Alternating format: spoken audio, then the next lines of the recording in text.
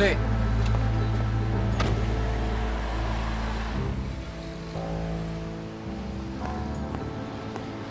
Görmezden mi gelecektin? Görmedim seni.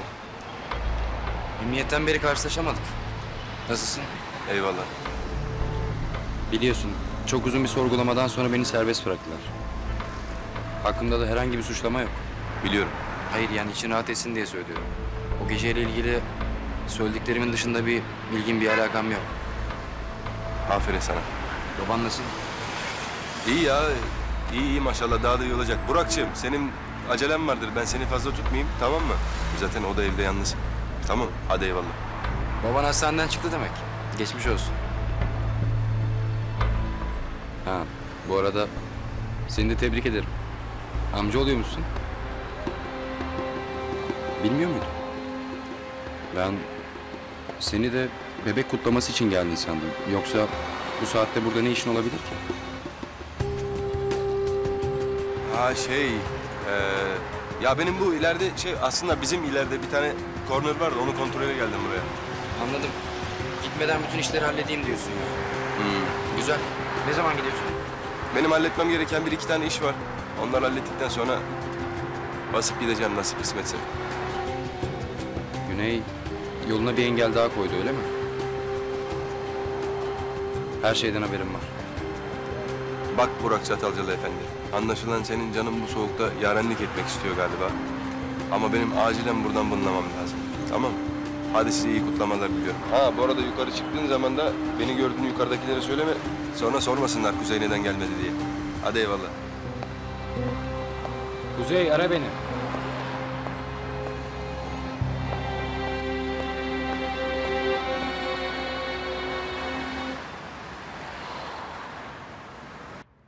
Haziran sonu gibi buralar çok sıcak olur.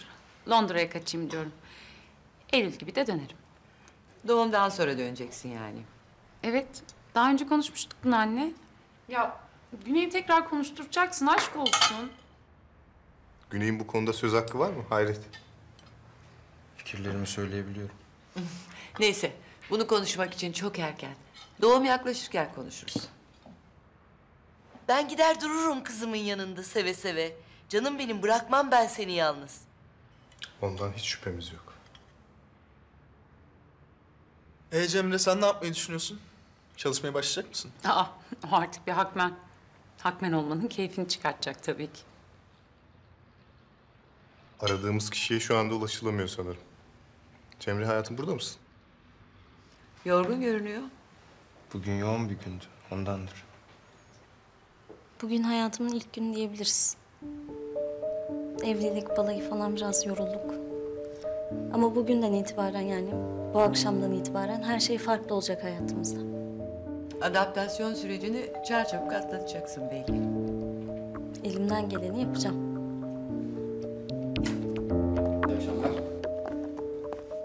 Ayrıca Banu ile Güney itiraz etmezse şirkette çalışmayı isterim tabii.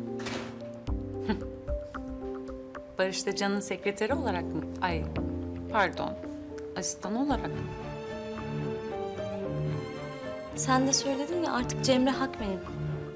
Şirketimiz için çalışacağım. Yani hangi pozisyonda olduğu hiç önemli değil.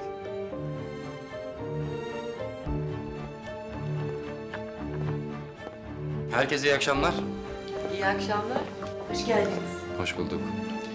Aile arasında bir kutlama yapılacağını duyunca hemen geldim. Keşke bizim de haberimiz olsaydı. Güney beni davet etti.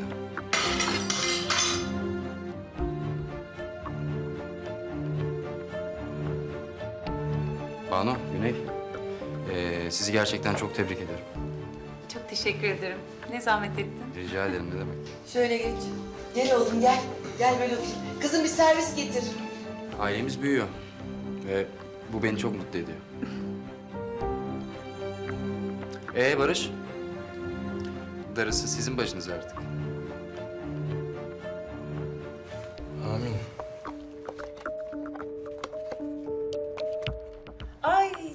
Şeker bir şey. Ya çok incesin Burak. Getir kızım getir. Greyfurt'la narda sıktın değil mi içine? İç kızım.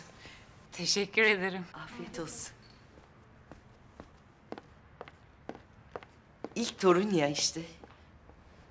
Ay ama böyle şımartın şımartın Handan Hanım.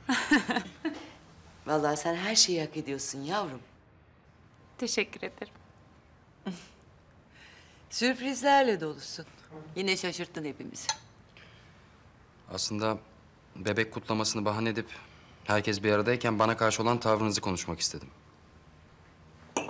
Öyle bir tavır mı var? Ben sana fazlasıyla tahammül ettiğimizi düşünüyorum. O gece ormanda olduğum ortaya çıkınca hepiniz benden şüphelendiniz. Özellikle de sen Barış. Nedense en çok sen huzursuz oldun. Yalan söylediğin için olabilir mi? Emniyete gittim, ifademi verdim ve çıktım. Bir gün boyunca. Evet ve bana inandılar. Bir tek sizler inanmadınız. Ve o günden beri hepiniz bana çok soğuk davranıyorsunuz. Daha önce doğru başımızın üzerinde dolaştırıyorduk ya seni. Ne istiyorsun? Ne, ne gibi bir ilgi bekliyorsun anlamıyorum. Anlamış değilim yani. Bak sadece şunu anla yeterli tamam mı? Ben katil falan değilim. Şu kadarcık ilgilendirmiyorsun. Ya tam lütfen kapatalım mı bu konuyu? Özür dilerim Banu. Yani gerçekten bu gece bu konunun konuşulmaması lazım.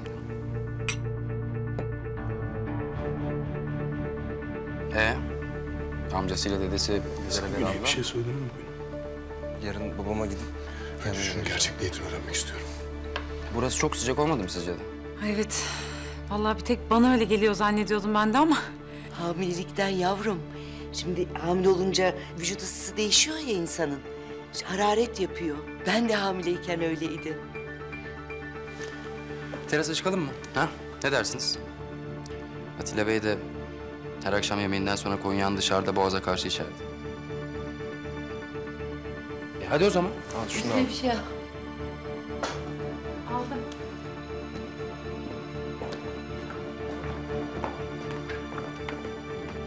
Teşekkür ederim. Kanalımıza abone olarak tüm videolardan anında haberdar olabilirsiniz.